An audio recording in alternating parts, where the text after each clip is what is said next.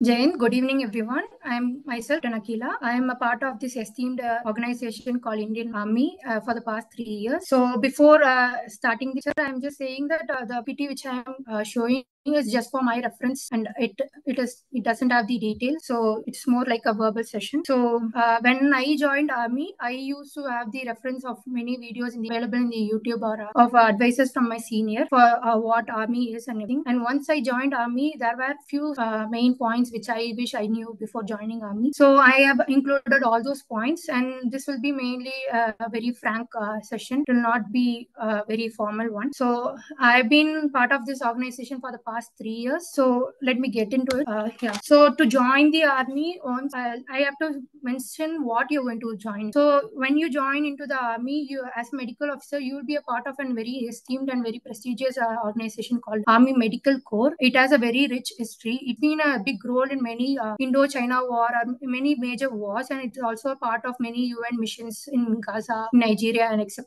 So to join Indian Army, you need to you can join in three stages. The first being you uh, after completing the 12th standard and uh, giving the NEET UG and going through the medical council and uh, giving an interview in the AFMC and joining into the AFMC Armed Force Medical College Pune and con- doing your UG there and then continue your service. Or you can join as intern, which I have clause. I put a clause because it's a very rare situation. It has done. It has been only twice past 35 years that uh, uh, there has been uh, medical officers or intern who has been taken into the army, recruited into the army as an intern. So as an intern you will be doing uh, you, you will have uh, four years of uh, mbbs academic uh, certificate and then you will go into the uh, army uh, hospitals and you will do the internship. Then uh, the most common way the medical to join as a medical officer through the interview. So the army will usually recruit a medical short service commissioned medical officers once a year or rarely twice a year.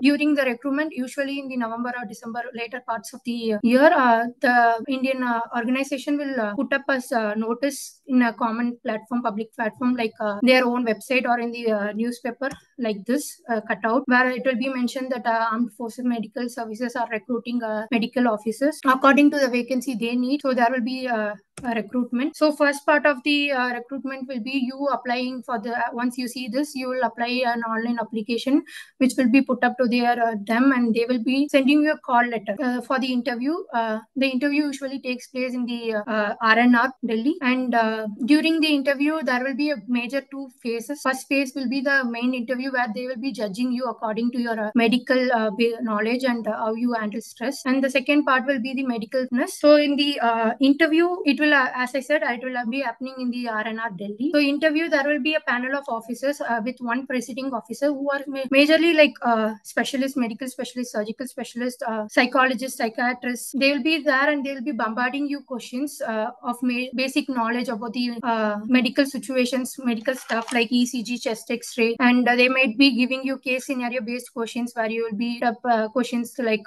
what will you do when mine blast happens or like a gunshot injuries happen? How will you control a hemorrhage what are your actions to it? There will be the psychiatrists and psychologists who will be uh, assessing you how you are reacting to this uh, case scenario based uh, questions and how you are handling that uh, stressful environment. And then they will uh, you need to at least get 50% of the mark in that. And once this uh, fit, interview is over your results will be informed and you will be asked to get your medical fitness to be done the next day so in the medical fitness they will check your bmi obviously height weight and then they will also check uh, check your chest expansion, whether you are physical, uh, you are physically fit enough to handle situations in field, and they will also check your uh, whether you are hemodynamically stable, like uh, your blood uh, report, your urine report, USG, your chest X-ray, your, your eyesight and hearing. So after all these, the organization will put up a list of candidates who are both in the interview and their medical nurse, and they will.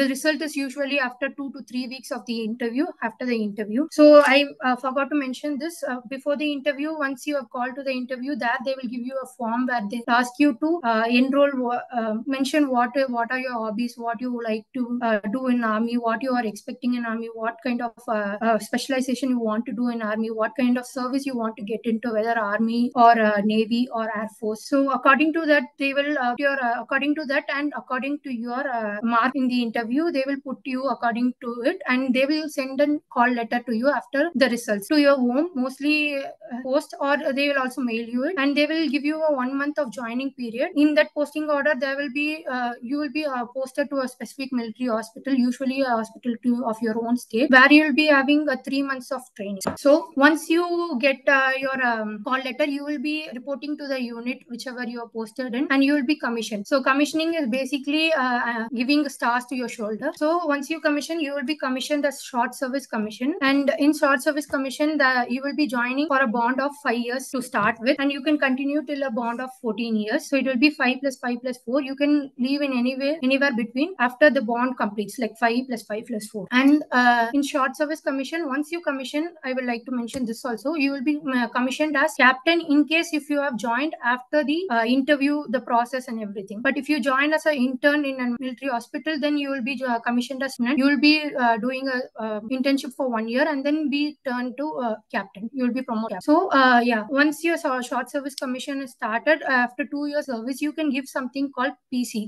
interview. That is permanent commissioning interview. So uh, basically, in PC PC interview, they will check what and all you have done for the two years, what good you have done for the organization, how well you have been active, and uh, what and all uh, um, rescue operations or any things you have done. And there will be recommendations from your se- uh, seniors. There will be credentials from your seniors who have uh, uh, who are uh, who have given you points according to your uh, inc- medical skills and stuff. So after the PC interview, you may turn into a permanent commission. In short service commission, unfortunately, right now there is no PG available in this short service commission. Till last year, there was an opportunity of PG even in short service commission, regardless of your age and stuff. But last year there was an unfortunate uh, ruling uh, brought up, and there is no PG for uh, right now for any short service commission. So once you finish your service, there is no pension available. Coming to permanent commission, you can one either be give your PC interview in the second year of your service and turn into a permanent commission, or you can be directly posted as permanent commission if you have done your um, UG in the AFMC, and 50% of the people who have scored the IS mark will be given the chances to take a permanent commission. But uh, it's on you whether you want to take or. And then uh, once you have joined permanent commission, once you have become a permanent commission officer, you will be have to do it for five, 55 years of your service. And uh, leaving in between is controversial, but you can do it. There are uh, cases where they have left in between, but uh, it depends on you. So in once you join, uh, once uh, you complete a four years of service, you can give your PG PG NEET exam and get a good off and get your PG seat selected. And there is again a clause in it since last year. There has been a ruling that PG will be only given to by the officers who are in the service of four to seven years of service. And yes, pension is available for the permanent commission officers. There's something called ACR which I want to mention that is called uh, annual uh, confidential report. Basically, which I explained you before in PC interviews, I've seen there is something called marking where uh, your seniors have given you, commanding officer has given you according to your integrity, how uh, medical skills, how your uh, loyalty and stuff. So you will be graded according to that.